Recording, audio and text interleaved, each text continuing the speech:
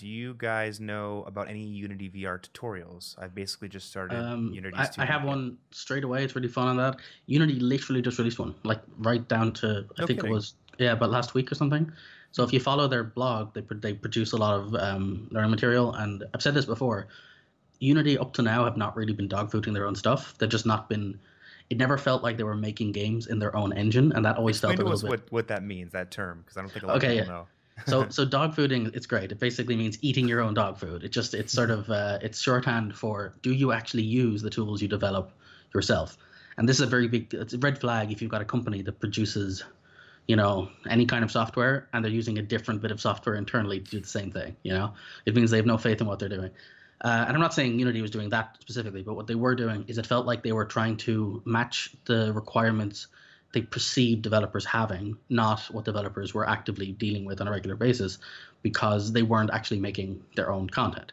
And so, by the nature of them more recently building their own projects, their own videos, and and uh, even even some game demos and stuff, it feels like they have a much better handle on what the things that actually hold you up are as a developer. And so, the more recent Unity stuff all feels like it's aimed to actually save time and solve problems that devs have. So with that in mind, one of the new courses they have is literally how to do an interactable escape room or something using using a VR in, in Unity. And I haven't tried, I haven't used it myself, but I've I've watched the the kind of trailer they did, and it looks solid. So I would I'd give that a go. It's like directly from the horse's mouth, so to speak. You know. yeah, and it's I would say that Unity it, it it would appear to me that they are doing a lot of dog fooding because you know you see I forget what what his name is I think it's Matt Schell. Um, you see them coming out with a lot of material, and it's probably been a bit more of a push in the last two years.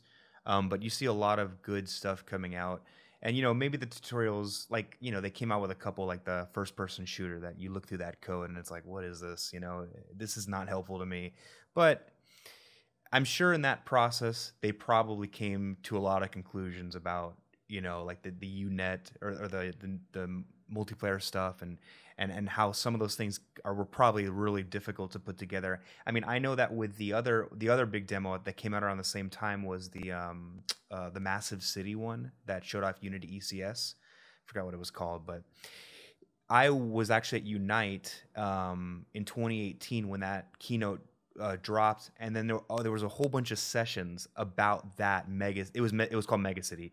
There was a whole bunch of ses- sessions about Mega City, and I went to every single one because at the time I was like really into uh, covering ECS, and honestly, that for me was kind of like a catalyst that I was like, I'm. I think at this point I'm going to stop covering ECS because every single one of those talks, as they were uh, pulling off the covers at, at different uh, uh, aspects of that megacity, I was like, wow, this is not ready. Everything they're describing sounds awful and hard to use.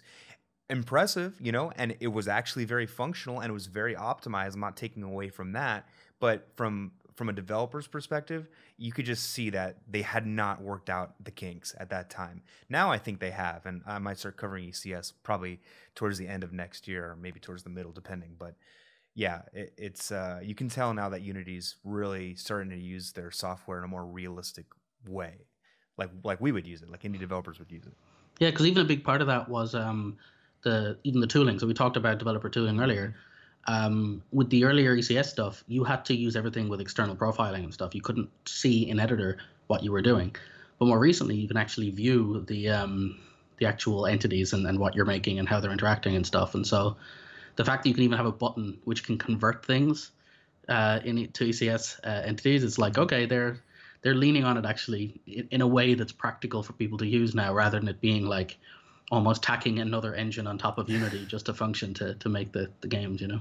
Yeah, yeah, definitely. And they had the whole hybrid ECS for a while, and uh, you know, it's it's good that they released it, and because it was it was a good opportunity for people to see what it was, but it really was alpha. So you know, you got a lot of people getting really hyped about it, and then it's like, well, it's not, not even close to being ready. So, and then you have people like me who make a like an eight part tutorial series that's completely uh, deprecated now. that gets lots of views, and people are like, "Hey, this doesn't work anymore." Yeah, it'll be endlessly chasing the dragon if you're trying to keep up with all of the changes. You'll be making videos every week, and they'll be completely unrelated to each other.